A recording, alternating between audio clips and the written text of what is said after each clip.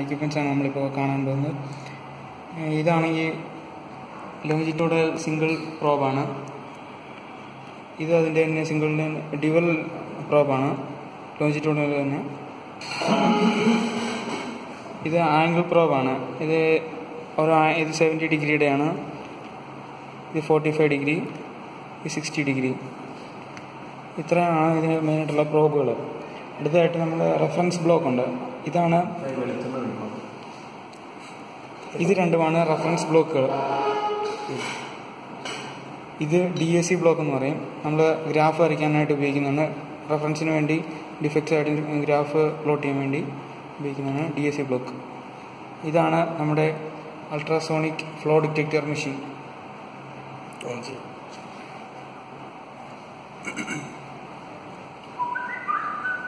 ഇതിന്റെ അകത്ത് എട്ട് മെനുകളുണ്ട്. ആദ്യമായിട്ട് നമുക്ക് ഓരോന്നായിട്ട് കണ്ടുവരാം.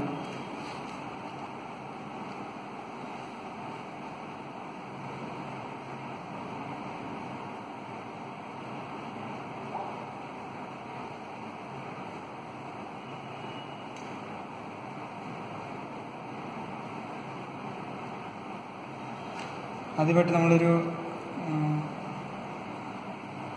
മെറ്റീരിയൽ ടെസ്റ്റ് ചെയ്യുമ്പോൾ നമ്മൾ ആദ്യമായിട്ട് സിംഗിൾ പ്രോബ് വെച്ചിട്ട് ലോഞ്ചിറ്റ്യൂണൽ വേവ് ഡബിൾ പ്രോബ് വെച്ചിട്ട് കാലിബ്രേറ്റ് ചെയ്യണം. എന്നിട്ട് നമുക്ക് ഈ വയർ ഈ മെഷീനിൽ കണക്ട് ചെയ്തിട്ടുണ്ട്. നമ്മൾ കണക്ട് ചെയ്തു.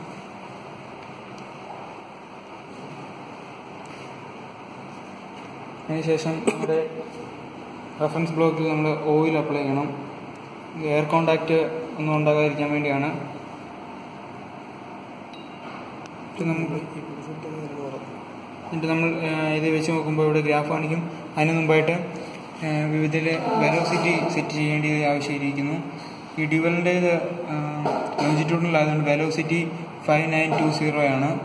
അതുപോലെ തന്നെ മോഡിന്റെ ഇവിടെ സിംഗിൾ ഡ്യുവൽ എന്നുണ്ട് നമ്മളിപ്പോൾ ഡ്യുവലാണ് ഉപയോഗിക്കുന്നത്. അതുകൊണ്ട് ഡ്യുവൽ എന്നുള്ളത് മോഡ് ഇടണം. ഇത്രയും ചെയ്യാനുള്ളൂ. പ്രധാനമായിട്ട്.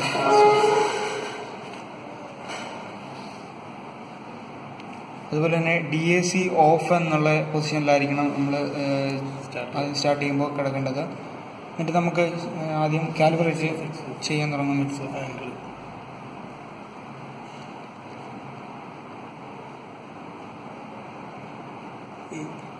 ഈ സിംഗിൾ പ്രോബ് ചെയ്യുമ്പോൾ ഇതിന് ആംഗിൾ ഒന്നുമില്ല.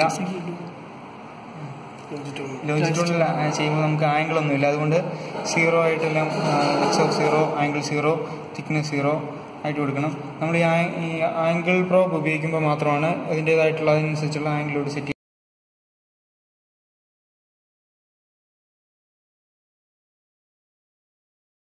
കാൽക്കുലേഷൻ വേണ്ടി നമ്മൾ ഈ ചെറിയ റെഫറൻസ് ബ്ലോക്കാണ് നമ്മൾ ആദ്യം ചെക്ക് ചെയ്യുന്നത്.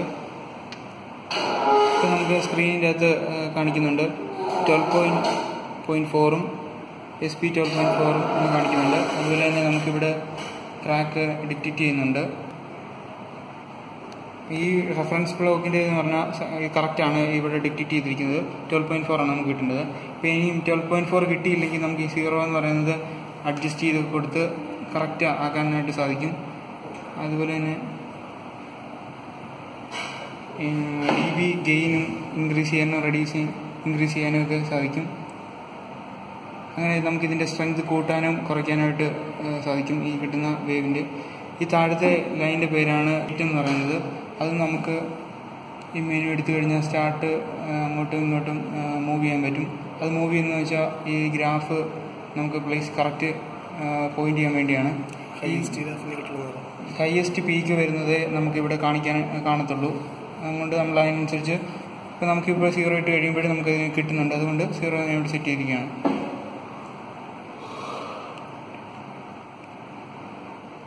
അടുത്തായിട്ട് നമുക്ക് ഇച്ചിരി കൂടെ ആക്യുറസി ഉണ്ടോ കറക്റ്റ് ആണോ ഒന്നുകൂടി ടെസ്റ്റ് ചെയ്യാൻ വേണ്ടി വലിയ റഫറൻസ് ബ്ലോക്ക് നമ്മൾ ഉപയോഗിക്കുന്നു.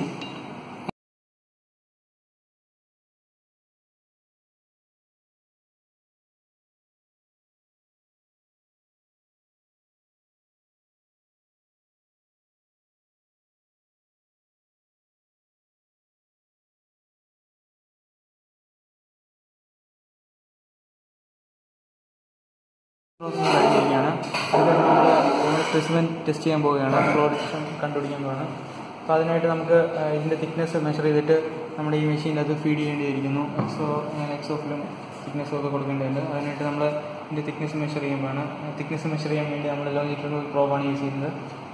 നമ്മൾ കാൽക്കുലേഷൻ ചെയ്ത പോലെ തന്നെ ഓയിൽ അപ്ലൈ ചെയ്തിട്ട് പ്രോബ് ഇത് ടച്ച് ചെയ്യുന്നു.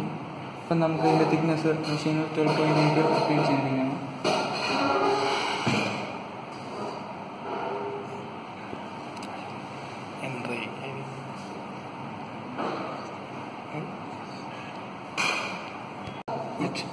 നമുക്ക് തിക്നെസ് ട്വൽവ് പോയിന്റ് എയ്റ്റ് കിട്ടി. നമുക്ക് ഈ മെനു എടുത്തിട്ട്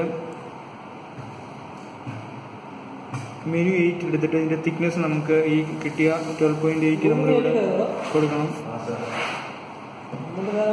ഈ ഡി ബി ബട്ടൺ പ്രസ് ചെയ്തിട്ട് ഈ English button plus button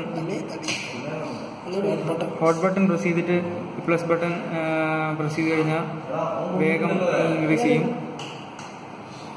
twelve point eight ആണ് വേണ്ടത്